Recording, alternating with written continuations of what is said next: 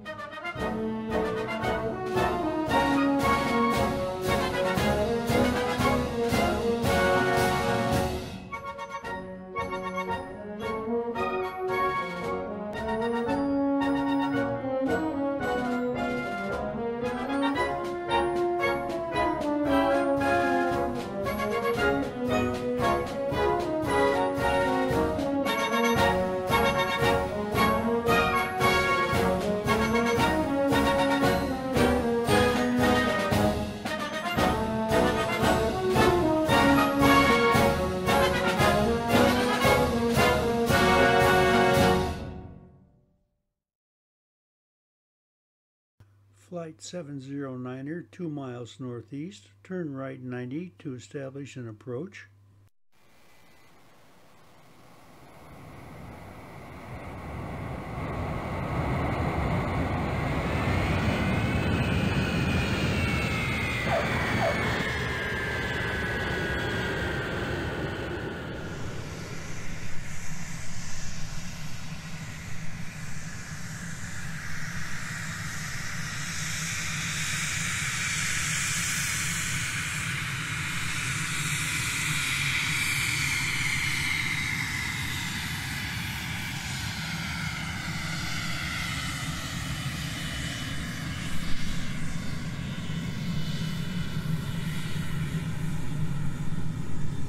Skytamer 709, arriving at Gate 1.